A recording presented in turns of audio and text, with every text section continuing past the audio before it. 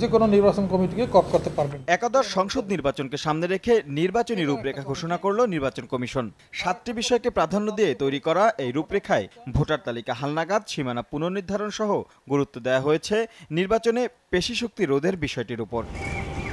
নির্বাচন কমিশনের রূপরেখা প্রণয়নের বিষয়টি ইতিবাচক হিসাবে দেখছেন বিশেষজ্ঞরা। তবে তারা বলছেন, নির্বাচনকালীন সরকার যেমনই হোক, সেই সরকারের অবস্থান প্রভাব ফেলবে ভোটের মাঠে। তাই তাদের সহায়তা ছাড়া রোডম্যাপের যথাযথ বাস্তবায়ন সম্ভব নয়। এক্ষেত্রে নির্ধারিত সময়ের মধ্যেই দলগুলোকে একটি সিদ্ধান্তে পৌঁছতে হবে বলেও মনে করেন তারা।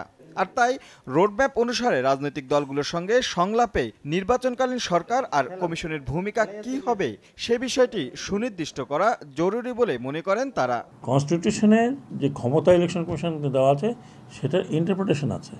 এখন সেটা অনেকে বোঝে, অনেকে বুঝে না। না বুঝলে পরে ইলেকশন কমিশনের কী করণীয় আছে?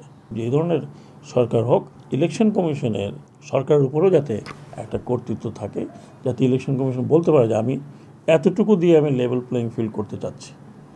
সেই প্রপোজালগুলো কিন্তু ইলেকশন কমিশনকে দিতে হবে।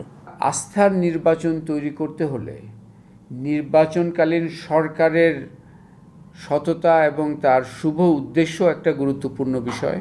বিশেষজ্ঞরা বলছেন নির্বাচন কমিশনকে থাকতে হবে সক্রিয়, বিশেষ করে রিটার্নিং কর্মকর্তা নিয়োগ, যে কোনো পরিস্থিতি মোকাবেলায় তড়িৎ সিদ্ধান্ত গ্রহণ সহ বেশ কিছু বিষয়ে কমিশনকে দক্ষতার পরিচয় দিতে হবে বলেও মনে করেন তারা।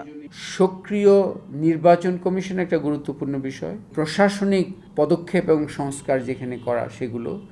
রিটার্নিং অফিসারের বিষয়টা আলাদা করে আমি গুরুত্ব দিতে চাচ্ছি এই জন্য যে ওইখানেই কিন্তু অনেক ধরনের সিগন্যাল চলে যায়। Violation of code of conduct violation of অন্যান্য যে আরপিওর যে ধারাগুলো আছে, সেখানে যে শাস্তি দেওয়া আছে, সেখানে যা করা আছে, সেগুলো পরিবর্তন করতে হবে কিনা সেগুলো দেখতে হবে।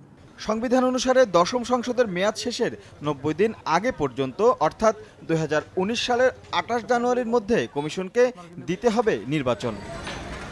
রাশেদ লিমন, সময় সংবাদ, ঢাকা।